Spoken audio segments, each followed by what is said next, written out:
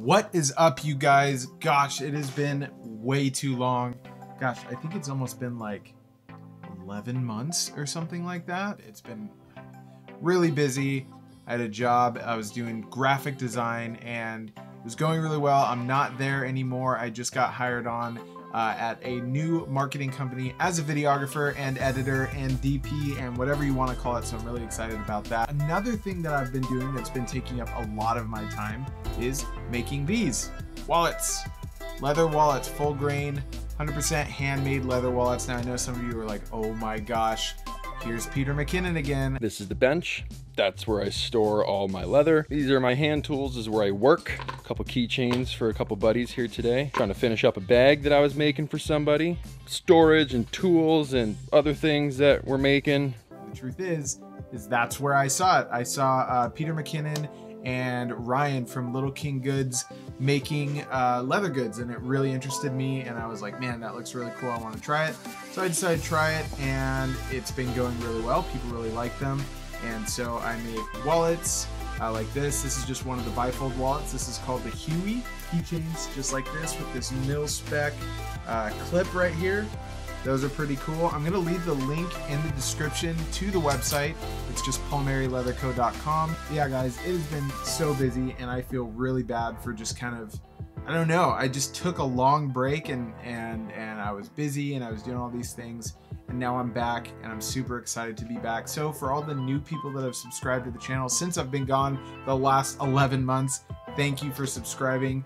But guys, today we're gonna be talking about something that is so cool. One of the things that I've been trying to do since I started doing video is to make my videos look cinematic, make them look like Hollywood films. I've been trying to figure out the the thing that that thing that just makes films look like films, stuff like color grading, adding the black bars, film grain, you know, different things like that that make your videos look more cinematic. But the one thing that is really hard to nail that everybody is doing in Hollywood nowadays is using anamorphic lenses. What I'm going to be doing today, guys, is I'm going to be teaching you how to get the anamorphic lens look without having an anamorphic lens. All right here on a new episode of Nicolo Maserati Teaches Premiere Pro. Let's run the intro.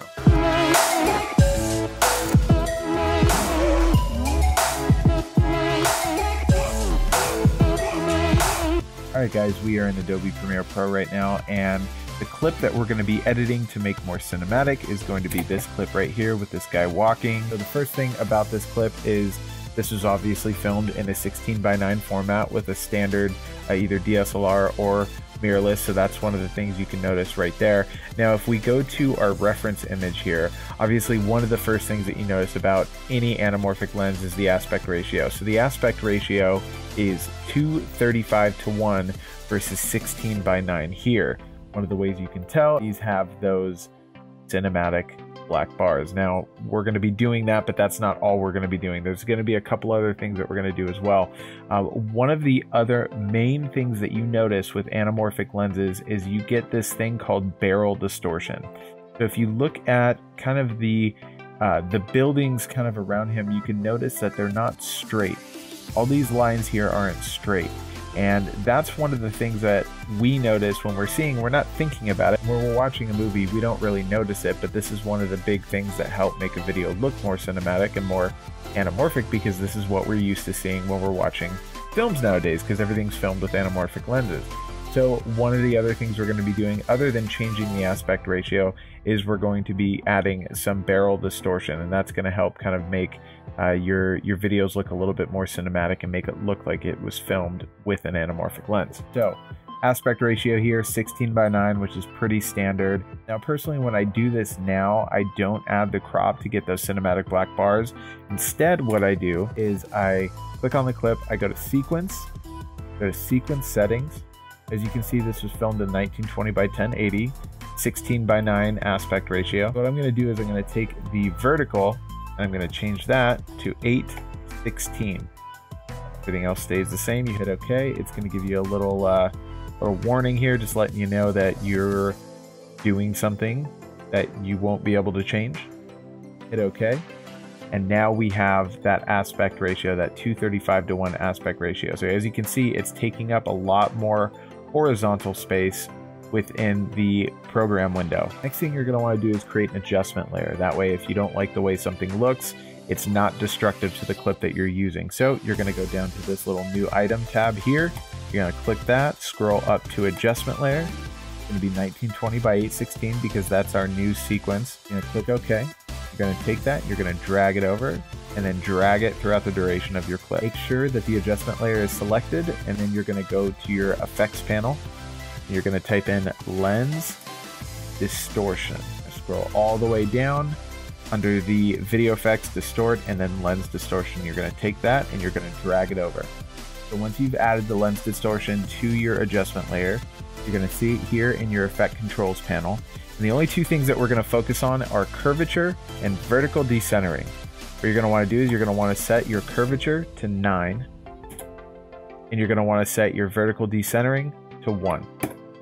You can see we kind of ran into a little bit of a problem here with these kind of white outlines, this white framing. So we're to fix that. The way we're to fix that is we're to go to our effects panel again. We're to type in transform. Again, you're to find it under the distort tab. You're to take that and you're to drag that over to your adjustment layer. Once you've dragged it over to your adjustment layer, you're to go back to effect controls. You're to scroll down. You're to see the transform here. The main thing that we're to focus on here is the scale in the transform tab. So all you're to do is take that, type in 110 hit enter, and you're good to go. So what we've mainly done is we've changed two things. We've changed the aspect ratio to a 235 to 1, the anamorphic aspect ratio, and we've added that barrel distortion. So if we look back at our reference image, one of the things we see, we notice that there's some barrel distortion going here. The lines aren't straight.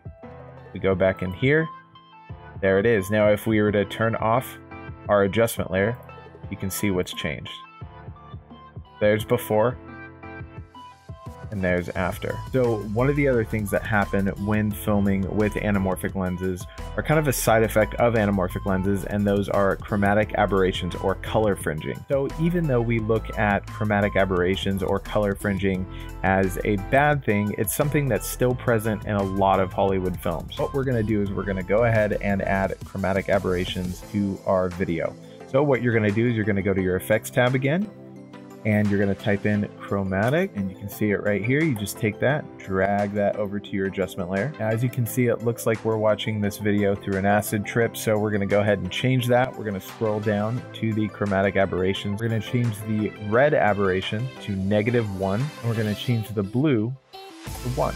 Now, if we zoom in here to 200%, you can see that those chromatic aberrations are present and they're kind of hard to notice and they're very subtle, but they are there. If I toggle the effect off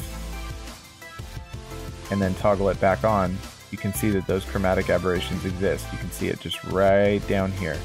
Turn it off again and back on. Right Here. Now, like I said, they're very subtle, but they do exist. They are there. This is just another subtle thing. It's the small things that count when you're trying to make your videos look more cinematic, and this is one of those things. All right, so now that we've done all those steps, let's take a look at the finished project.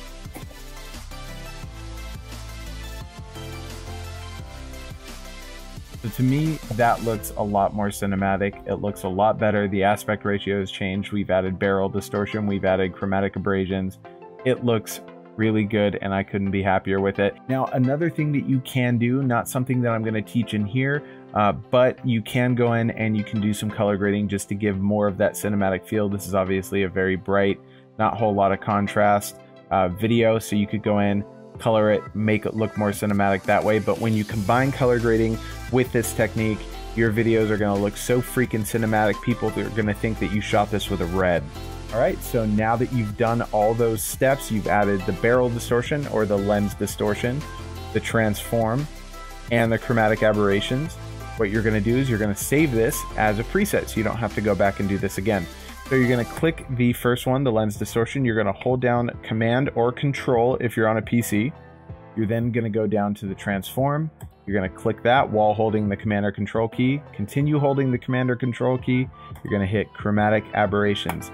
You're then going to right click and you're going to go to save preset. Now you can name this whatever you want. If you want to name it ana, uh, anamorphic, anamorphic video. You can name it whatever you want, it doesn't really matter. I already have a preset saved for that, but once you do that, make sure the scale is checked and you're gonna go ahead and click OK. All right, guys, so let's get back to my face. All right, guys, I hope you enjoyed this video. I hope you got something from it. If you did, please feel free to hit that like button below. You know what? I really want to know what you guys think of this video. So comment below. And if you're gonna start doing this and uploading it to YouTube, leave the link in the comments because I want to see them. I want to check them out and see how it came out.